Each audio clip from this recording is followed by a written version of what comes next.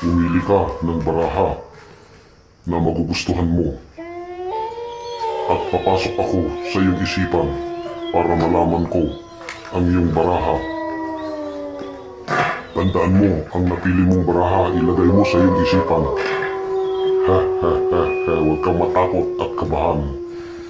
Dahil papasok na ako sa iyong isipan para malaman ko ang baraha na iyong pinili sa pamamagitan ng isip mo ay malalaman ko ang baraha at bibigyan kita ng baraha na pagpipilian mo.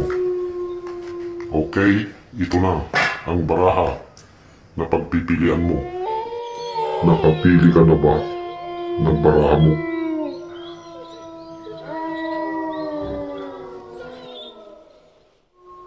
Ha ha ha ha, ang barahang napili mo ay nakataob na.